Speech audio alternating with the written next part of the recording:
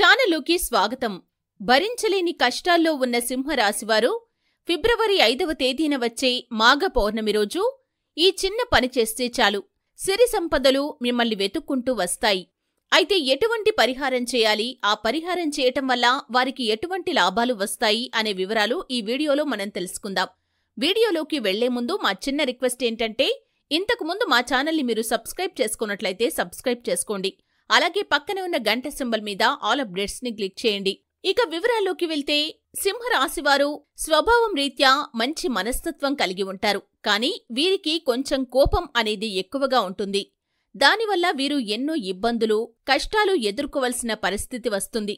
అయితే భరించలేని కష్టాల్లో ఉన్న ఈ సింహరాశివారు ఫిబ్రవరి ఐదవ తేదీన శక్తివంతమైన మాఘ పౌర్ణమి రోజు ఈ చిన్న పరిహారం చేస్తే చాలు. సిరి సంపదలు మిమ్మల్ని వెతుక్కుంటూ వస్తాయి. ఆ పరిహారం ఏమిటంటే మీ ఇంటి పైకప్పుపై బరువైన మట్టి పాత్రలో పక్షులు తమ దాహాన్ని తీర్చుకోవటం కోసం నీటిని ఉంచండి.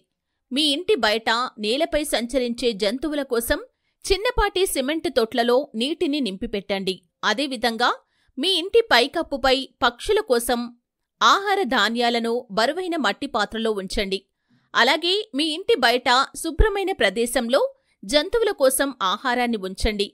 మిగిలిపోయిన ఆహారాన్ని ఎప్పుడూ కూడా వృధా చేయకుండా ఇలా జంతువులకు అందించండి. చీమలు మరియు కీటకాల కోసం ఆహారాన్ని పొదలలో చల్లండి. మీరు పక్షులకు జంతువులకు ఈ విధంగా నీటిని ఆహారాన్ని అందించారంటే మీకు ఎంతో పుణ్యఫలం లభిస్తుంది. జాతకరీత్యా కూడా మీరు అనుభవించిన ఎన్నో సమస్యలు కష్టాలు అన్నీ కూడా ఈ విధంగా చేసిన పుణ్య కార్యాల ద్వారా తొలగిపోతాయి.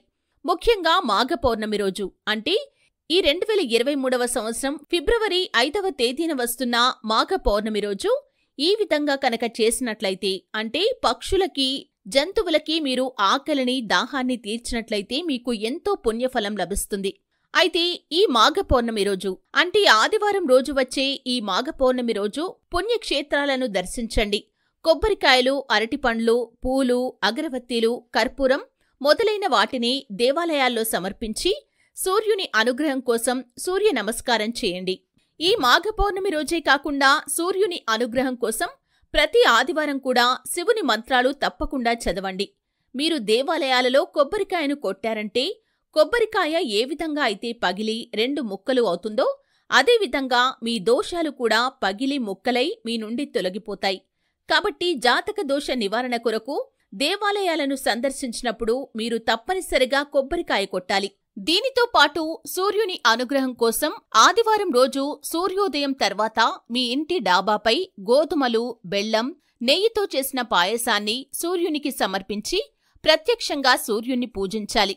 సూర్యకిరణాలలో ఉత్తేజమైన ప్రసాదాన్ని కుటుంబ సభ్యులు అందరూ కూడా స్వీకరించండి.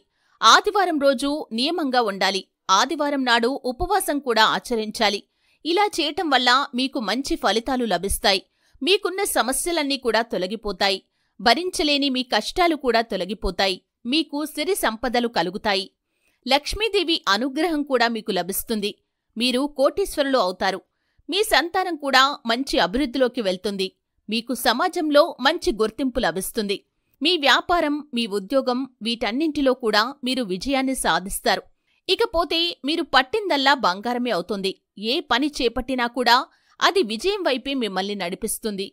మీకు భోగ భాగ్యాలు కలుగుతాయి. ఆర్థికంగా ఎంతో అభివృద్ధి చెందుతారు. మానసికంగా కూడా ప్రశాంతమైన వాతావరణం ఉంటుంది. ఆరోగ్య విషయంలో కూడా ఎటువంటి అనారోగ్య సమస్యలు మీకు రాకుండా అన్ని విషయాల్లో మంచి ఫలితాలే లభిస్తాయి.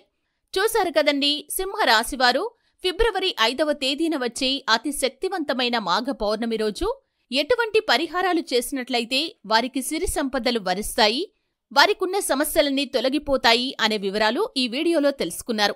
ఈ వీడియో మీకు నచ్చితే ఖచ్చితంగా లైక్ చేయండి. మరిన్ని మంచి మంచి వీడియోల కోసం ఇప్పుడే మా ఛానల్ని సబ్స్క్రైబ్ చేసుకోండి.